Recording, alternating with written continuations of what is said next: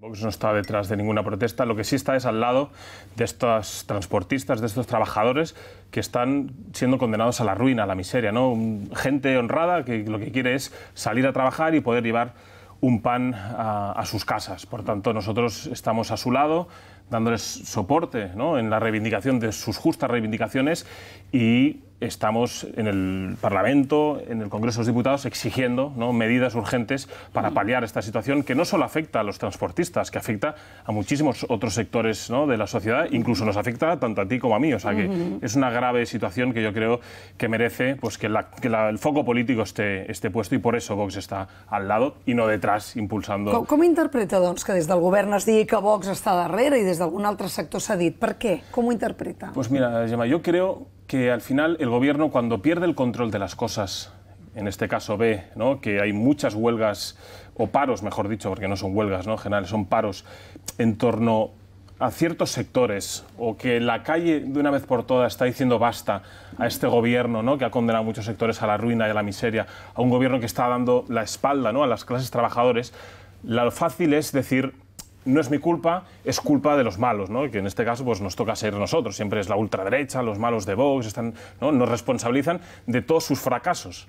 Por tanto, en este caso, al ver que la calle está diciendo basta, lo fácil es criminalizar a unos trabajadores honrados que lo único que quieren es poder llenar sus depósitos y salir a trabajar y decir que es culpa de Vox y que son los ultras. ¿no? Pues nosotros lo que hemos dicho es que no son los ultras, sino que son ultras del pan de sus hijos. Eh, lo que me preocupa realmente es pues esa mayoría social con la que Vox ha conectado, que es una realidad, eh, se convierta pues, en una mayoría de votos y por tanto parlamentario. Yo creo que estamos en un buen momento, que estamos conectando con los problemas reales de los españoles, que están viendo que por fin hay una alternativa de esperanza y que tienen la voluntad determinante de solucionar o al menos de hablar ¿no? y de exigir que se solucionen los problemas que afectan a la gente corriente, a las clases medias, a las clases populares y que no está instalado en debates estériles, ¿no? como está la izquierda y el progresismo, que están más preocupados en hablar sobre eh, las nuevas masculinidades, las ideologías de género, eh, la nueva religión climática, etcétera, etcétera, que hablar de lo que verdaderamente afecta a las familias, como es la subida de los hidrocarburos, el alto precio del gas, de la electricidad, etcétera, etcétera. ¿no? Nosotros, por ejemplo, denunciamos el creciente islamismo en Cataluña. Y tengo derecho a hacerlo, porque puede suponer, así lo entendemos nosotros, un riesgo para nuestra convivencia y nuestra forma de vida.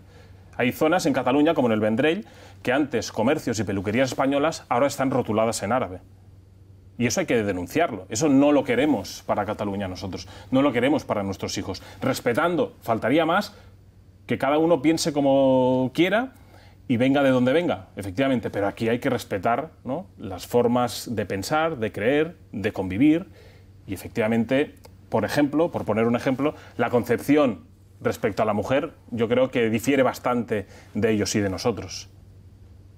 Y ya que estamos ahora todos muy feministas, pues seamos feministas y coherentes en todo. O solo vale la pancarta el día del 8M. No, no, nosotros de verdad defendemos a la mujer y al hombre los 365 días del año, aunque para ello haya que decir cosas que políticamente correcto no sean tan agradables de escuchar. Pero no hemos venido a, a agradar los oídos de la gente, sino a decir de verdad pues, eh, lo que preocupa a los catalanes, en este caso por lo que me toca a mí, y a los españoles en el conjunto de España. Estamos avanzando de manera satisfactoria, desgraciadamente, porque como comprenderá que se vulneren los derechos y las libertades ¿no? del conjunto de los catalanes en un término como es el lingüístico es dramático, pero nosotros lo hemos dicho, como le dije, no nos temblará el pulso para sentar en el banquillo los acusados en caso de que incumpla la sentencia y parece y hay ya signos evidentes de que efectivamente la va a incumplir y sin duda alguna cuando tengamos los suficientes argumentos de peso los llevaremos. Nosotros lo hemos dicho, hemos venido a defender de verdad los derechos legítimos de los catalanes que han sido pisoteados durante décadas,